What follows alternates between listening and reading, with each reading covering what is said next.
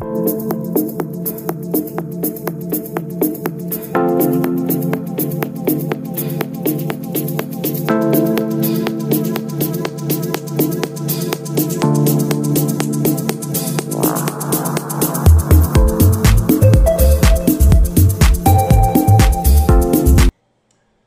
eigene Anstrengung, etwas Positives zu erreichen, trägt nicht selten dazu bei, gerade das Negative zu verewigen.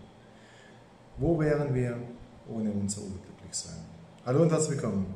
Ich möchte in diesem Video über das Thema Testosteron noch einmal sprechen. Und zwar geht es einmal um eine etwas tiefgründigere Betrachtung der Substitution, auch im Leistungssport Wer meine anderen Videos kennt, der weiß, dass ich mich ähm, expresses verbes, also ganz direkt und unmittelbar vorsätzlich gegen die Administration und gegen die Thematisierung anaboler, androgener Steroide und die Aufklärung von Laien ausspreche. Das Thema ist zu komplex. Ich beschäftige mich als Naturwissenschaftler jetzt seit 25 Jahren mit dem Thema Testosteron, Testosteronersatztherapie Leistungssteigerung von Anabolen, androgenen Steroiden, Wachstumshormonen, Insulin. Und ich komme immer weiter zur Erkenntnis, dass ich wohl als einer der wenigen Naturwissenschaftler mich, mich ähm, sehr, sehr tief in diese Thematik eingearbeitet habe. Aber auch ich stoße immer wieder an Grenzen, wo ich sagen muss, okay, so weit wissen wir Bescheid und der Rest bleibt Spekulation. Das wird in der Medizin immer so sein. Doch zunächst zum Thema Testosteron, Substitution und welche Berücksichtigungen haben wir vielleicht nicht bedacht oder welche Dinge haben wir nicht berücksichtigt. Zunächst einmal ist eines klar, stark und groß und leistungsfähig zu sein, ist die eifersüchtig gehütete Domäne der Fitnessindustrie. Und der Konsum von Anabolen, androgenen Steroiden, scheint hierbei in der heutigen Gesellschaft, wo der Faktor Zeit ein großes Problem darstellt, wohl für die allermeisten jungen Athleten unumgänglich zu sein. Nur, wo wären wir, wenn wir dies nicht wirklich mal auf den Prüfstand stellen würden? Zunächst einmal ist es so, die Betreuung eines Athleten erfordert sicherlich mehr als Laienetologie. Das ist ganz klar. Und die ganzen Betreuer, die sich als Coach mehr oder weniger aufschwingen. Hier ist es so, hier muss man sagen, das ist natürlich in weiten Teilen Betrug, der diese Menschen geben Wissen preis, das so teilweise nicht stimmt, das vordergründig, objektiv sogar falsch ist. Im Sinne vom Postphilasterid-Syndrom möchte ich hier ein paar Gedanken mit euch teilen. Ich hoffe, dass mir das gelingt. Zunächst einmal ist es ja so, dass wenn ich Anabole, androgene Steroide von außen zuführe, dann wird es zu einer Veränderung am Androgenrezeptor kommen. Der Androgenrezeptor und sein androgenresponsibles Element sind im Prinzip sehr wichtige äh, Detektoren. Es kommt gar nicht so sehr auf die Konzentration der Hormone an im Blut, wo ja der größte Teil sowieso an SHBG gebunden ist oder an Albumin. Es sind ja, wie bekannt sein dürfte, nur 2% frei. Und wichtig ist hier zu verstehen, der Androgenrezeptor, der kann je nach Stimulation, wenn viel Steroide kommen oder wenn wenig Steroide im Serum vorhanden sind, kann er dementsprechend seine Affinität, auch seine Suszeptibilität variieren. Es kann zu einer Androgenrezeptor-Overexpression kommen, es kann aber auch zur Degradation kommen. Das bedeutet, wenn ich viele anabolen Steroide im System habe, dann wird der Androgenrezeptor sich zurückziehen. Das bedeutet also, es wird zu einer Degradation kommen. Wenn es wiederum wenige anabole androgene Steroide, Testosteron im Serum sich befinden, dann wird es zu einer Androgenrezeptor-Overexpression kommen. Nehmen wir zum Beispiel Postphilasterid-Syndrom. Ein Mann nimmt Philasterid mit dem Sinn, mit dem Zweck, seinen Haarausfall, seine Alopezie zu bekämpfen. Was geschieht? Finasterid hemmt die 5-Alpha-Reduktase. Wir haben in unserem Körper im Augenblick zwei, die dritte ist noch unklar, diese Enzyme der 5-Alpha-Reduktase. Die 5-Alpha-Reduktase wandelt unser Testosteron in das stärkere Androgen, fünffach stärker, das Dihydrotestosteron um. So, und jetzt muss man wissen, wenn die 5-Alpha-Reduktase inhibiert wird, dann fehlt unserem Androgenrezeptor natürlich nicht zu 100%, auch nicht zu 50%, aber ein gewisser Teil, 20 bis 30%, je nach Dosierung, Dihydrotestosteron. Es kommt also zu einer Overexpression des Androgenrezeptors. Das bedeutet, der androgene Rezeptor wird sensibler, weil er weniger Substrat hat. Wenn ich jetzt mein Finasterid absetze, nach ein, zwei, fünf Jahren, dann habe ich aber immer noch einen hypersensiblen androgenen Rezeptor. Jetzt kommt folgerichtig, nach fünf bis sieben Tagen, nachdem das Finasterid ausgeschlichen wurde oder abgesetzt wurde, dementsprechend wieder mehr Dihydrotestosteron. Dieses mehr Dihydrotestosteron führt ja, obwohl es ein normales Level wäre, für den Mandel wie vorher auch, zu einer verstärkten Stimulation. Und dieser androgene Rezeptor wird insofern ein hypersensibler Androgenrezeptor. Und der hypersensible Androgenrezeptor führt im Prinzip zu einem negativen autoregulatorischen System, zu einer negativen Rückkopplung zum Hypothalamus. Der Hypothalamus wird weniger GNRH ausschütten und demzufolge der Hypophysenvorderlappen weniger LH und weniger FSH. Somit ist erklärbar, dass sehr viele Athleten oder Männer, die Finasterid eingenommen haben, sowohl niedriges Serum Testosteron haben, als auch niedriges LH und FSH. Man spricht hier von einem tertiären Hypogonadismus.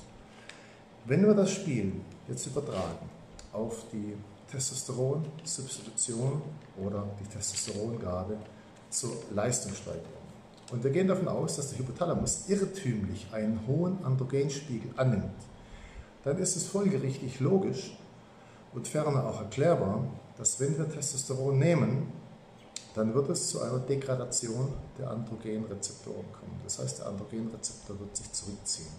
Das kann man daran erkennen, dass ein Athlet, der heute 250 Milligramm Testosteron injiziert, in wenigen Wochen, um die gleichen Fortschritte, Gains zu machen oder um sich gleich wohlzufühlen, wenn man davon ausgehen kann, wenn wir das mal einfach jetzt naiv betrachten, eine lineare Korrelation zwischen Testosteron und Wohlfühlen und Libido herstellen wollen, dann wird der Athlet schon in ganz kurzen Zeitabständen 500 Milligramm Testosteron benötigen, weil der androgene Rezeptor dementsprechend weniger sensibel ist. Das bedeutet, die Suszeptibilität des androgenen Rezeptors wird geringer. Und wenn wir jetzt unser Testosteron irgendwann, aus welchem Grund auch immer, absetzen, dann haben wir einen androgenen Rezeptor, der dementsprechend wieder sensibler wird. Er wird also deutlich sensibler, es kommt zu dieser Androgen-Rezeptor verstärkten Overexpression. Das heißt, ein übersensibler androgener Rezeptor, der führt zu einem stärkeren Signal zum Hypothalamus. Und es kommt wiederum zu einer Downregulation von GNRH, LH und FSH. Somit wird klar, dass ein Athlet, der jemals von außen Androgene, anabole Steroide zugeführt hat, wahrscheinlich aufgrund der Veränderung der Epigenetik am androgenen Rezeptor niemals mehr in einen physiologischen, für ihn physiologischen Hormonhaushalt zurückkommt. Denn normalerweise ist es so, der nicht ligandengebundene Androgenrezeptor ist hochaffin für Androgene. Insofern kann man freilich nicht sagen, dass es besser ist, mehr Androgene im System zu haben. Kurzfristig ja, aber langfristig wird der Androgenrezeptor und das androgenresponsible Element, das ja ein Transkriptionsfaktor ist. Hierzu muss man vielleicht erklären, wie funktioniert überhaupt diese ganze Situation mit der vermehrten Gewebsbildung, mit dem Muskelaufbau, mit den androgenen Geweben. Also das Hormon bindet an den Androgenrezeptor. Der Androgenrezeptor ist ein intrazellulärer Rezeptor. Also der sitzt nicht auf der Zellmembran, sondern der befindet sich zytoplasmatisch. Und das Steroidhormon kann ja unsere Zellmembran permeieren, also durchdringen. Und somit bindet das Steroidhormon direkt an das hormonresponsible Element. Dieser äh, Androgenrezeptor ist ein Transkriptionsfaktor. der wandert in den Nukleus, in den Kern und bindet dort an unsere DNA. An dieser DNA, der, die Sequenz der DNA, die wir transkribieren wollen, die wird abgelesen. Daraus entsteht eine Message, eine Messenger-RNA und die Messenger-RNA wird zurückgeführt ins Zytoplasma. Im Zytoplasma gibt es ein sogenanntes endoplasmatisches Retikulum. Und es gibt auch ein sogenanntes raues endoplasmatisches Retikulum. Das raue endoplasmatische Retikulum wird also für die posttranslationale ähm, Biosynthese verantwortlich sein. Das heißt, es werden im rauen endoplasmatischen Retikulum nach diesem Bauplan unsere mRNA-Proteine aufgebaut. Und diese Proteine hemmen den androgenen Rezeptor. Das heißt, der androgene Rezeptor inhibiert sich selbst. Das ist ein Autoregulationsmechanismus. Deswegen wird es dir auf, ähm, ich sage jetzt mal, normale Weise, normales Training, niemals gelingen, große Muskeln aufzubauen, weil der Androgenrezeptor sich selbst inhibiert durch sein Transkriptionsprodukt. Noch einmal, das Steroidhormon bindet an den Androgenrezeptor. Der Androgenrezeptor ist ein Transkriptionsfaktor. Transkriptionsfaktor wandert zu unserer DNA, macht daraus die Sequenz, die wir brauchen, ein, eine Botschaft, eine mRNA, Messenger-RNA. Es gibt drei verschiedene RNAs. Die Messenger-RNA ist die wichtigste für das Verständnis. Die Messenger-RNA enthält den Bauplan für unser Transkriptionsprodukt. Und das Transkriptionsprodukt wird hergestellt wo? Im rauen endoplasmatischen Retikulum. Das heißt also, der Androgenrezeptor ist ein Autoregulationsmechanismus. Und teilweise kann es hierzu bei hohen Transkriptionsprodukten zu einer kompletten Stummschaltung führen. Und das ist ein ganz wichtiger Punkt, den du niemals vergessen darfst. Wenn du von außen anabole androgene Steroide zuführst, könnte es passieren, dass dein Hormonhaushalt sich nie wieder erholt. Insofern ist auch die Frage nach einem Postcycle wahrscheinlich, so wie ich es verstehe, im Augenblick janusköpfig. Denn mit der ganzen Postcycle-Therapie ist äh, der Androgenrezeptor noch nicht quasi berücksichtigt. Und äh, hier müssen wir uns vielleicht auch Gedanken machen, wie wir hier intelligenter vorgehen können. Also das ist ein ganz wichtiger neuer Aspekt, den wir berücksichtigen müssen. Und äh, wir kennen es aus der Postphilasterid-Symptomatik, dass die Gabe von Androgenen oder auch Dehydrotestosteron beim Postphilasterid-Syndrom entweder langfristig nicht zielführend ist oder gar negativ. Und die autoregulatorischen Mechanismen, autoregulatorischen Mechanismen des Androgenrezeptors, die sind bislang in der Medizin komplett unverstanden. Und äh, die Regulation kann auf Transkriptionsebene stattfinden, kann aber auch auf Translationsebene stattfinden oder auch posttranslational. Das bedeutet also, der Androgenrezeptor hat eine viel größere Bedeutung, als wir bislang angenommen haben. Des Weiteren muss man sagen, was ich in mehreren Videos schon erklärt habe, dass auch das Testosteron an den Glucocorticoidrezeptor binden kann und diesen dementsprechend abschirmen. Insofern verbrauche ich natürlich für die gleiche Reaktion mehr Cortisol. Es wird über kurz oder lang, wenn andere Faktoren noch mit hinzukommen, wie Übertraining, wie Stress, wie Belastung, jede körperliche, jede physische Belastung führt zu einer gewissen Freisetzung von Chlorkortikoiden, auch auf epigenetischer Ebene, dass wir hier uns im Klaren darüber werden, dass wir wahrscheinlich ein Problem mit unserer Nebenniere generieren, wenn wir langfristig hohe Dosen von externen Gaben von Testosteron zuführen. Jetzt muss noch etwas anderes anführen. Und zwar, wenn es um das Thema Testosteron geht. Es gibt ja die altbekannte Weisheit, dass Testosteron umgewandelt wird über die 5-Alpha-Reduktase in Dehydrotestosteron. Soweit, so gut. Allerdings kann Dehydrotestosteron weiterhin verstoffwechselt werden durch die Hydroxysteroid-Dehydrogenase. Und die macht aus Dehydrotestosteron das Endprodukt, und zwar das 3-Androstenediol. Und das 3-Androstenediol ist ein Androgen, das biologisch nicht aktiv ist. Und das bedeutet also, Je mehr Testosteron ich zuführe, desto mehr steige, steigere ich meine Hydroxysteroid-Dehydrogenase. Die 3-Alpha-Hydroxysteroid-Dehydrogenase wird exprimiert. Das bedeutet, wenn ich von außen Testosteron zuführe, dann steigere ich das Enzym, das Dehydrotestosteron inaktiv macht, nämlich die Umwandlung von Dehydrotestosteron in 3-Alpha-Androstenediol. Und dieses 3-Alpha-Androstenediol ist biologisch inaktiv und hemmt wiederum meinen Androgenrezeptor. Das bedeutet also, auch hier müssen wir uns Gedanken machen und es ist eine Tatsache, dass sich viele Athleten, auch viele Männer, mit Hormone Replacement Therapie kenne, die am Anfang mit der Hormone Replacement Therapie gute Ergebnisse haben.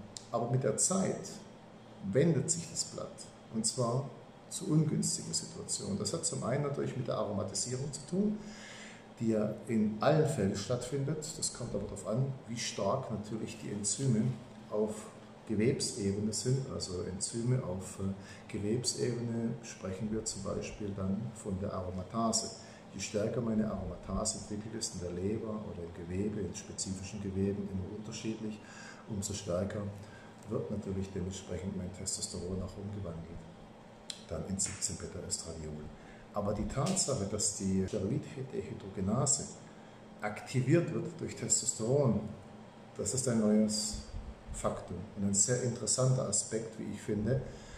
Ich bin gespannt auf die Rückmeldung von euch, wie ihr das seht und ähm, ob man da in dieser Richtung vielleicht auch in gewisser Weise umdenken muss, dass hohe Dosierungen von anabolen androgenen Steroiden vielleicht Janusköpfe sind und meiner Zielsetzung zuwiderlaufen. Hier muss man wieder die Frage stellen, wo wären wir unsere, ohne unsere Unglücklichkeit? Also schlussendlich, ich wiederhole nochmal, den wichtigen Aspekt, was wir berücksichtigen müssen. Wir wissen heute durch die Forschung in der ähm, Krankheitslehre, also in der Pathologie, über das Postphilasterid-Syndrom, dass ähm, hohe Dosierungen von Testosteron die 3-Alpha-Hydroxysteroid-Dehydrogenase exprimieren. Die 3-Alpha-Hydroxysteroid-Dehydrogenase macht aus Dehydrotestosteron 3-Alpha-Androstenediol. Und das ist ein inaktiv, biologisch inaktives Androgen. Und somit wird erklärbar, warum Athleten auf eine ganz andere Ebene, obwohl sie Testosteron geben, langfristig mit Libido-Problemen zu kämpfen haben, mit Gynäkomastie vielleicht schon, das ist erklärbar durch die Aromatase, aber die Libido-Probleme, zur Libido, zur Erektionsstörung am Schwellkörper, brauche ich Stickstoffmonoxid. Und Stickstoffmonoxid wird in den penilen Arteriolen der Corpora cavernosi, also im Schwellkörper, da gibt es zwei, links, rechts der Harnröhre und ein dritter, der aber nicht verhärtet, weil durch den die Harnröhre läuft. Ähm, dazu brauche ich Stickstoffmonoxid. Und ohne Dehydrotestosteron wird kein Stickstoffmonoxid frei. Das bedeutet also wieder, wir müssen uns doch vielleicht nochmal mehr Gedanken machen über die Thematik Hormone Replacement Therapie und Testosteron im Leistungssport. Ich denke, hier ist das letzte Wort noch nicht gesprochen, aber es zeigt sich wieder, die eigene Anstrengung, etwas Positives zu erreichen, trägt nicht selten dazu bei, das Negative zu verewigen. Sehr viele Athleten nehmen Testosteron mit der Zielsetzung, groß, stark, muskulös zu sein. Sie vergessen aber, dass sie in weiten Teilen damit selbst kastrieren.